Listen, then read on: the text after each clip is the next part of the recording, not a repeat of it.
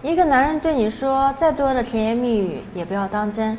一个真心爱你的男人，要看他为你做到了多少。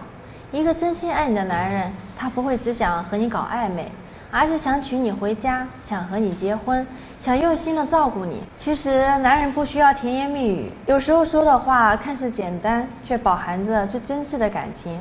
人们常说“男儿有泪不轻弹”，有些男人为了自己心爱的女人流下了眼泪，很是让人感动，让人有想嫁的冲动呢。女人们，当你们听到不善言辞的他说出这三句话的时候，你应该明白，这个男人对你是付出了所有的感情，他对你是真心的，可能是想要娶你了呢。如果这个男人说出的话也能做到，那么这个男人是值得你信赖的，值得你托付终身的。下面我们就来看看到底有哪三句话呢？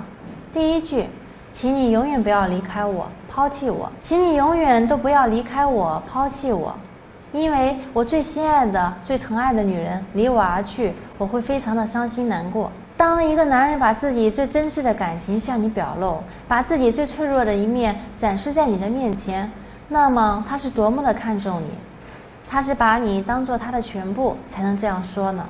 第二句，放心的交给我吧，我会照顾好你一辈子的。爱到心灵深处时，才会听到那情不自禁的发声。岁月会老，真情会变，滚滚红尘与你相伴。看繁华落尽，品人间万种风情。爱你到永远，把爱升华到灵魂深处。对于一向沉默寡言的男人们来说，能说出这句话实属不易，可能一辈子只说这一次吧，而且只对你说。因为你是他这一生中唯一的伴侣选择，我想要照顾你一辈子，这是男人对你的承诺，也是他下的决心，同时也是他对你的真情告白。在他的心里，你已经是他想要娶回家的妻子了。第三句，别害怕，别担心，有我在，就不会让你受委屈。你是我最心爱的人，我不能让你受到任何的伤害，哪怕是一点点的委屈都不可以。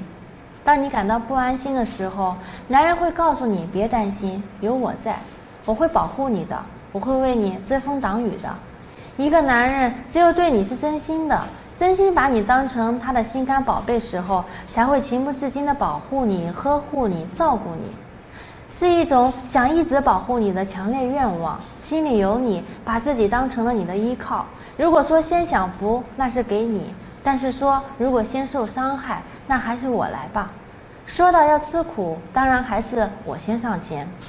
上述说的三句话都非常的简短，但是都非常的真挚，比那些整天甜言蜜语挂在嘴边啊从不用心的男人强很多。听到这些话的时候，可以毫不犹豫的嫁给他吧。